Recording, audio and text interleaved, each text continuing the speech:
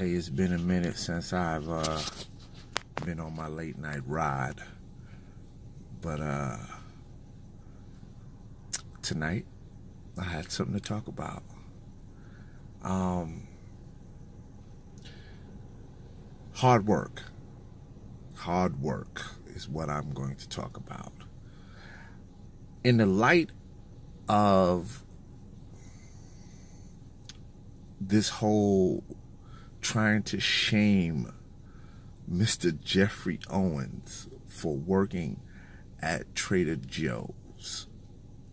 I had to do this tonight. Um, I want to first start by saying I commend that man for having a job. What is he not supposed to work? Uh, I think it's. I think this this society is become very. Um, well, you know what? They.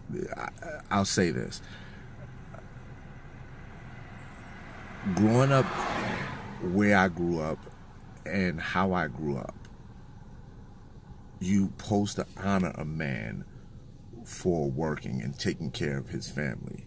Um, now, because this man was on a, a very popular and hit TV show that is no longer on the air, and due to circumstances beyond his control, um, he's probably not getting the residuals because of other things.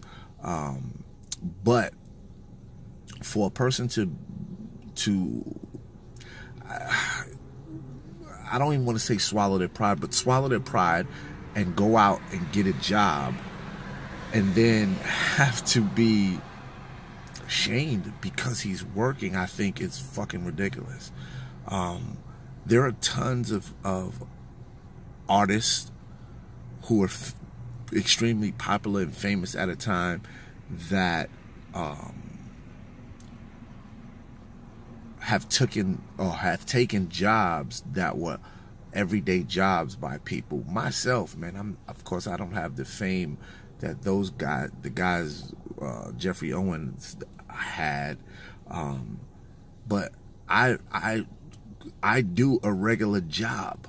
You know, I worked at Alamo Car Rental while I still pursued acting. You know, ecstasy from from Whodini was a EMT. Uh, you know, when he, he wasn't making records. Uh, you know, there, there, there's there's tons of people out there that's doing jobs um, that were famous and, and have to put food on it. When you're a real person uh, and and times get hard, you do what you fucking have to do. I I don't know who the lady is that posted the picture of her of him at Trader Joe's, but fuck that lady, man. Uh, I think that shit is crazy whack, man. And I pray that all of this has a a, a positive and glowing outcome for him, man. I, I, I this society today is just so fucking whack, man. It's so fucking whack. And I think that was some bullshit that they did to this man. Um, he's just trying to make a living and feed his family. Um, but like they say, they always say, it's cliche, you know, everything happens for a reason. And I believe that this happening is going to have some positive outcome for this man.